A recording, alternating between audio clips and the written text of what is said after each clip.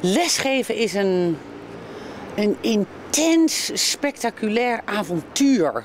Het is een belevenis. eh, het is een, een reis. Eh, het is een enorme koprol. eh, waarin ik ook steeds zelf niet weet of ik hem haal. Weet je wel? Dus soms klap ik ook door de, door de vitaliteit van studenten. Weet je, soms glij ik ook gewoon met hun mee zo smash tegen de muur aan. Ik hou van het ontluiken.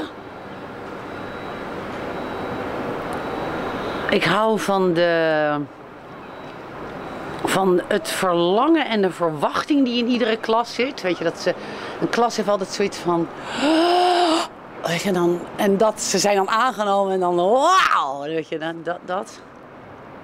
Nou ja, wat ik zei, die overdracht van kennis. Het, het, leegt ook mijn bagage, wat, wat heel fijn is. Ik vind het heel, heel fijn om, om werk met ze te maken over exact waar ik, op, waar ik dit, op dit moment zelf dan een voorstelling over maak.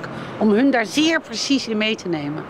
Ik begon t- eh, ik, ja, nou, vij- 25 jaar geleden. Ik was een hele jonge eh, docent.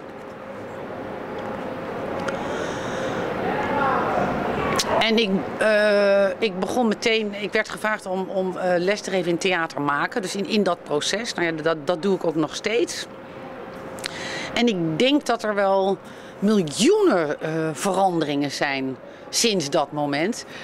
Maar ik ervaar ze. Ik ervaar de verandering van de geschiedenis niet zo bewust. Omdat de, de kiem of, zo, of de kern van creatie en schepping, die, die is gelijk. Ik weet ook niet of, of liefde eh, verandert, weet je wel, door de eeuwen heen. Ja, ik weet niet, ik hou, ik hou gewoon van de school. Ja, ja. ik hou er gewoon van. Ik vind het een fantastische school.